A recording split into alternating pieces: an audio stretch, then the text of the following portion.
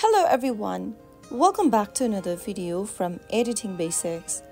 In this tutorial, I'm going to show you how to flip image in Snapseed.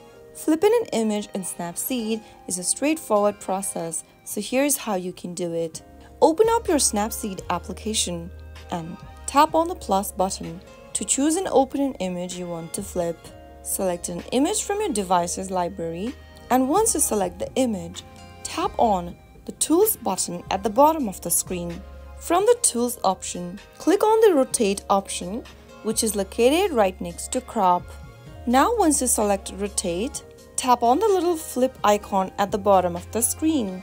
You will then be able to flip your image horizontally. If you want to flip it vertically, then you can use the Rotate button. Go to the bottom right and click on the little Rotate button, which will then rotate your image vertically.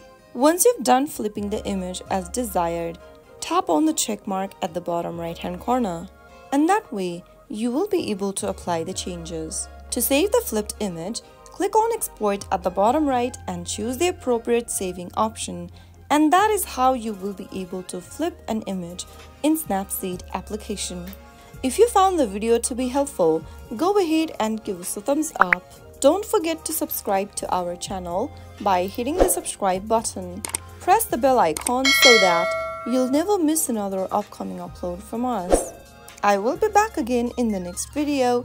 Thanks for watching.